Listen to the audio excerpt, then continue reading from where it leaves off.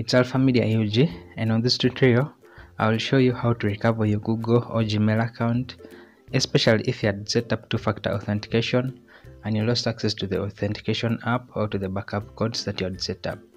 So I'll walk you through each and every step up to the point where you can get a new sign-in link that you can use for getting back into your account. So don't forget to subscribe to this channel, turn on the notification bell so that you'll be updated every time I make such recovery videos. Now I'm going to show you three steps and the first one is for you to open your Gmail app, then click on the profile icon of the already signed in account, then at the bottom select add another account. So from there you select Google, then you go ahead and enter the email address of the account that you'd like to recover.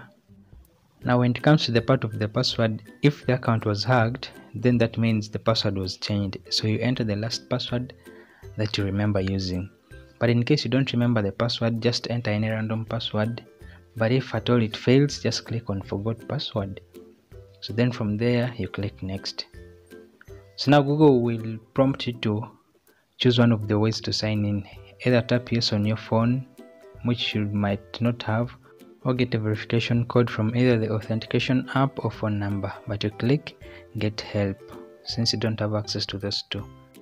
Now the problem here is that they will again send an email to that Gmail account that you're trying to recover, which you don't have on your phone.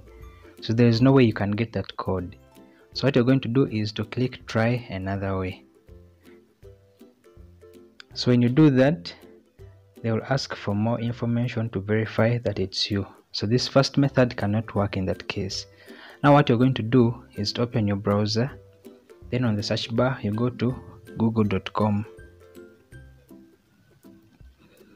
google.com then on the search bar under google you type gmail recovery.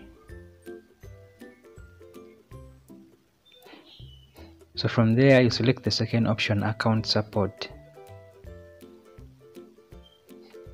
Then you enter the email that you're trying to recover then click next. So the password the same case. Enter the password that you remember using since you don't have access to the phone or the authentication app, just click try another way to sign in. Then from there, it will also prompt you to enter the verification code from the phone number. So since you don't have the phone number, click try another way. Then also this one will again require you to enter the code that is sent to that very email, which you don't have. So this method also does not work in this case because it does not provide an option of getting a sign-in link so that one also can sign. So the last step or last method that you can try now in this case is still on your browser. You're going to go to the google account recovery page. So you go to google recovery. So then from there you're going to select the first option which says recover how to recover your google account or gmail then from there you scroll down and you'll see the option of tips to complete account recovery steps. Then you click on it. So when you click on that you'll be redirected to the account recovery steps. Then you click on go to the account recovery page. Then you enter the email address of the account that you'd like to recover. Then from there you can enter your last password but if you don't remember click try another way. Then also here try another way to sign in since you don't have access to the phone number authentication app.